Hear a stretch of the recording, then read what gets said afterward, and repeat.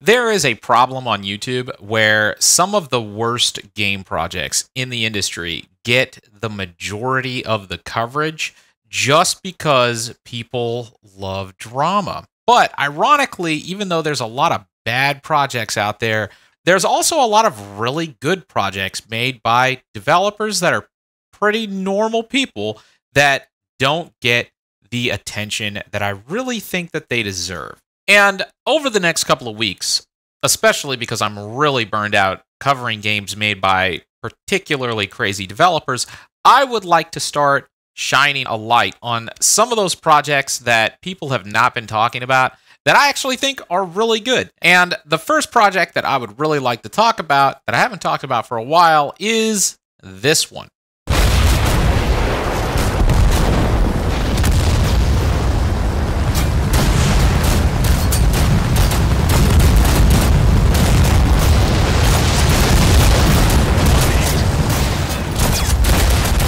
This is a game called Total Conflict Resistance, and it goes hard.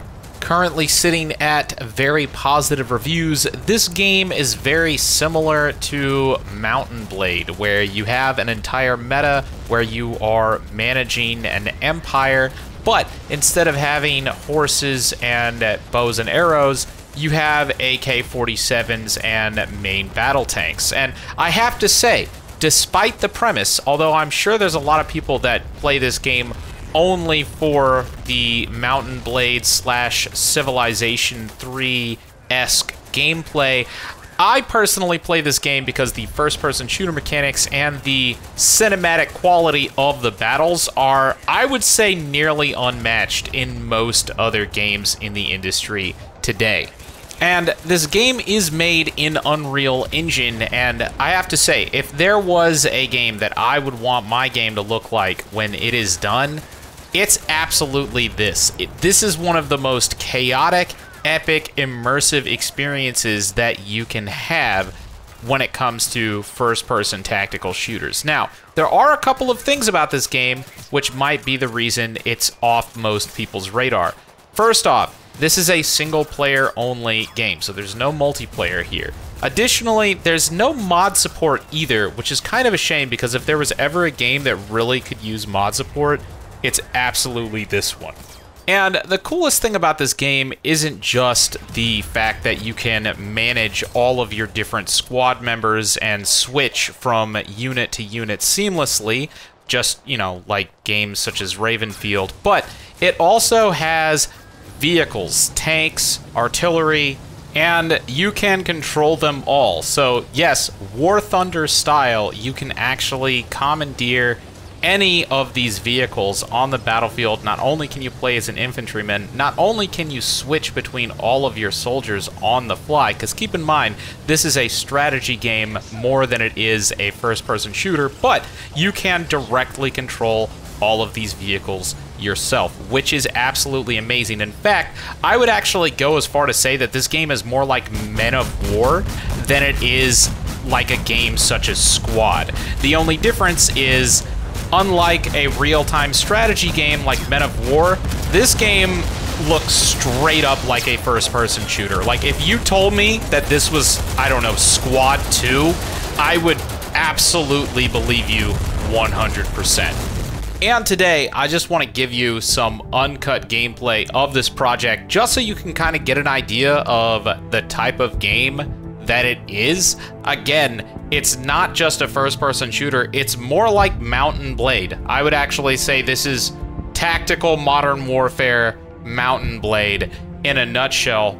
But there's a lot of really cool things that this game does that I don't see many other projects doing, not just from the strategic real-time strategy layer, but I would also say from a first-person shooter layer. So I'm going to give myself a lot of units, and we're going to start this campaign by slugging it out with whoever my first adversary happens to be, which I guess is going to be this these guys right here.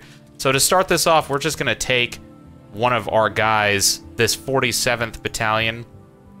Oh, wow, yeah, there's a lot going on here. And we're just going to, um, we're going to curb stomp these rebels. So let's um show these rebels why they shouldn't mess with democracy. All right, so we are now in game. As you can see, I've got my cool.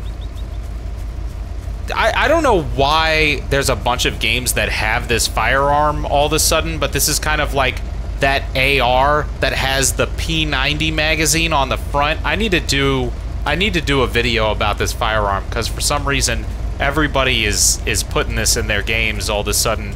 But I can open up this this RTS style screen and I can go through here and I can look at my forces and I can also look at the objective. I can also control my forces. So for instance, I can say, hey, dismount guys. So all my infantry are going to get out um, and we're going to go and look at the enemy, who I'm assuming are probably going to be hiding in these farmhouses. Oh no, here we go. Here is the enemy forces, unbeknownst to us, uh, that we're going to have to wipe out. Looks like they have a MTLB. I mean, this is why, like, I feel like this game could be way more than what it is. I mean, in some ways, this game almost feels like Arma or something of that nature. It has the sandbox element to it, but you also have, you know, all of this AI and all of this functionality that I would expect from an Arma game just missing some of the sandbox editor elements that Arma has, including the mod support. I would love to see more mod support. So let's go ahead. We're going to take our guys. We're going to tell these guys to advance, because why not? Alright, so here's our forces advancing on the enemy. We're going to hunt down these rebel positions. And if we want to, we can take control of any of these units. Uh, so if I want to go here and I want to, say, select this squad, and then I can go to direct control, and I can take control over any of these soldiers. Let's see, here's a guy with an RPG. So there we go. So we've got this guy with an AT weapon. Or if we want, we can also take control of this tank. So let's actually do that. Hello, Mr. Tank. I would love to take control of you. Boom. And look at this. Battle's already kicking off, brother. Look at that. We got a... a I almost said BTR. A Bradley. What's wrong with me? Over there. Looks like there's some artillery going off.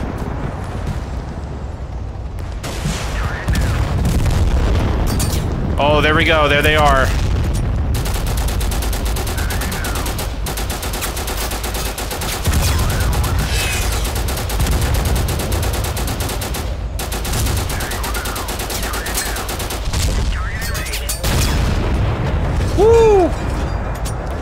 So, this is a game that's just really cool. That for some reason, not very many people, if anybody, talks about recently. And it has a lot of the things that I think a lot of other content creators say that they want in a game. But for some reason, a lot of these players who are asking for something like this are also ignoring projects like this one. This is a really good project, but in the last 30 days, it's only gotten 99 reviews. Come on, man, that's nothing we could boost that up way higher. And I feel like it does actually deserve it. Over the next couple of weeks, I'm going to start going through a lot of these projects that I think are really underappreciated. And if you guys know of any others besides this one, let me know down in the comments. I'm really burned out on covering a lot of studios that, in my opinion, really don't deserve the attention. And I want to, at least for the next while, start turning that attention towards the developers that do. So